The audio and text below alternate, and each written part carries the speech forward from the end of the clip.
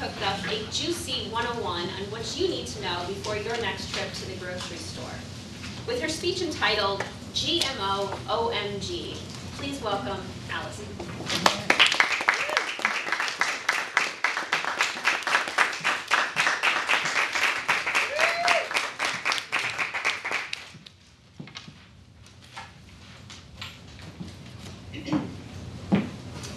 Right now, people everywhere are overcoming chronic illness. Children with autism are coming off the spectrum and leading normal lives. Adults who developed asthma and food allergies are finding relief. What's their secret? They have all eliminated genetically modified organisms from their diet. The biggest culprits in the US today are corn, soy, cotton, canola, and sugar beets. Sugar beets produce 95% of commercial sugar in this country. Soy and corn are in most processed food. And good luck finding anything in a restaurant that isn't cooked in canola oil. So what in the world is genetic modification? Simply put, they manipulate the genes of our food to do something not naturally intended. More specifically, stay with me here, they take bacteria, viruses, or other sources, clone them, blast them into the DNA of a plant or animal that eventually becomes our food. They do this in two ways. They breed crops to become pesticide and herbicide resistant, like Monsanto's Roundup Ready seeds. The second way, they take corn and cotton and breed them to become, to secrete their own pesticide. They don't need to be sprayed at all. This is known as Bt toxin, is the pesticide. Think about that for a moment. Your food secretes its own bacterial pesticide. Would you risk eating that? Would you feed that to your child? Any bug unlucky enough to eat this food is gonna die because the pesticide explodes its stomach open. What do pesticides do in the human stomach? Research shows that they destroy the healthy bacteria in our digestive systems the same way they do bugs in a field. Other symptoms, other consequences include organ failure, gastrointestinal and immune system disorders, accelerated aging, and infertility likely due to nutrition loss and the creation of allergens, toxins, and carcinogens in the food we eat. It's like building Frankenstein's monster, but with our food.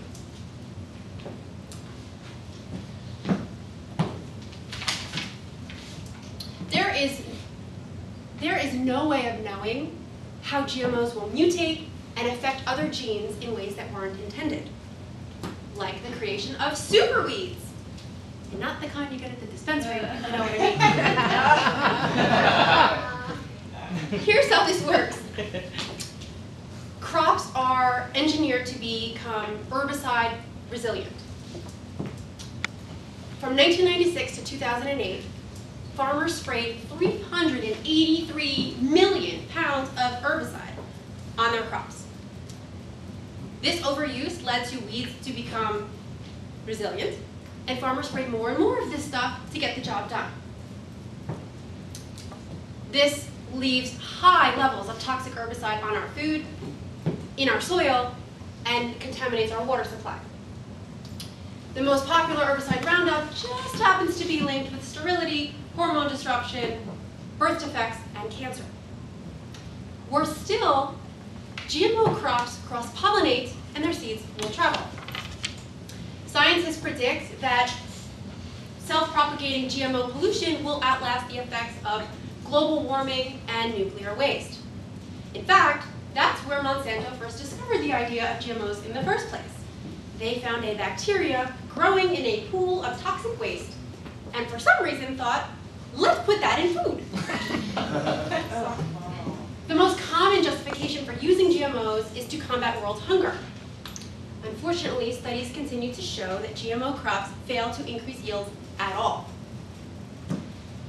Science is only part of the battle because politics play a role too.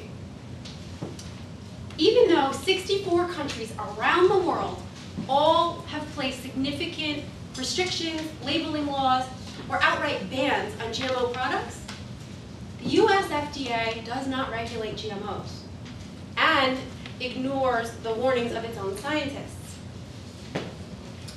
One possible explanation could be that the head of the FDA happens to be a former lawyer and senior VP for Monsanto. He has even gone back and forth from Monsanto jobs to government jobs on more than one occasion. To put this in perspective, vitamins are required to list their ingredients. GMOs get a free pass. Proponents of GMOs have even resorted to mafia tactics to suppress dissenting facts and voices. For example, uh, objective third-party scientists who have discovered problems with GMOs have been slandered, attacked physically, fired, threatened, and denied funding. It's not all bad news. Consumers do have choices, and by choosing, by avoiding GMOs, you contribute to the coming tipping point that will force them out of the food supply. If just 5% of us reject the, the brands that contain them, GM ingredients will become a marketing liability and the food companies will kick them out.